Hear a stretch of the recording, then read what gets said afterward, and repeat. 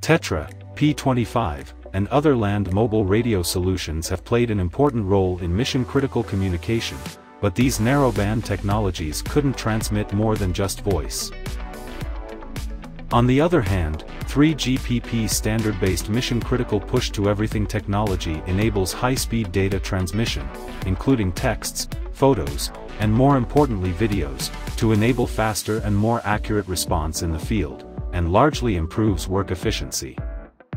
For seamless evolution and migration from legacy technologies, Samsung's MCP-TX solution supports interoperability with the existing LMR network.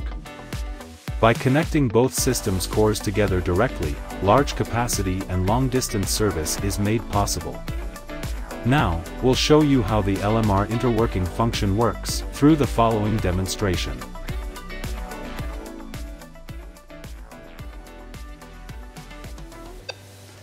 Traffic control, this is Matthew. Do you read me? Over?